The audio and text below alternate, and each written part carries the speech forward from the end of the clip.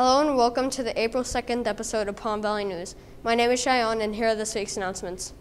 Spirit Week has been a huge success, with students and teachers all dressing up in really cool outfits. The race for the top nest is really close, with the Owls leading just before Spirit Week.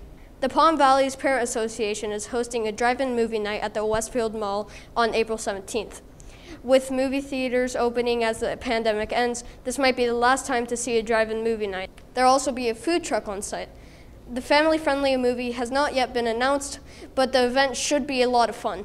Check out the school website for more information. Palm Valley Varsity Golf has started practice with the season starting right after spring break. The Firebirds won the league title in 2019 and are looking to add another this year.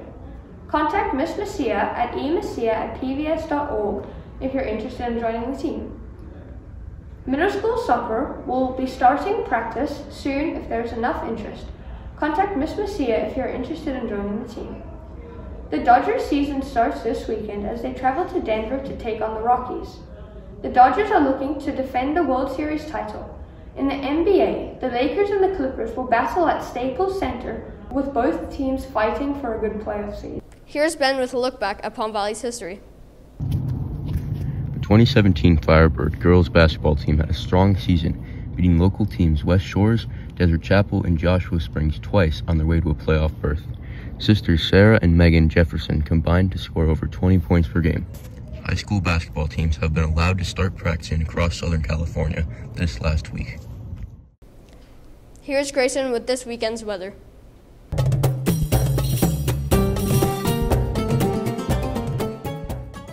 It'll feel like summer in Rancho Mirage this weekend, with a high of 97 on Saturday and drops down to 93 on Sunday.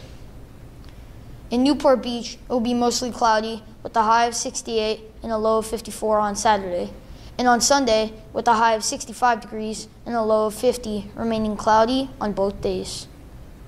It will almost be the same temperature in Big Bear, with a high of 64 on Saturday, dropping to 62 on Sunday. Back to you, Shannon. That is all for PVN. Please like and subscribe to our YouTube, Instagram, and Twitter accounts today. Have a stellar weekend.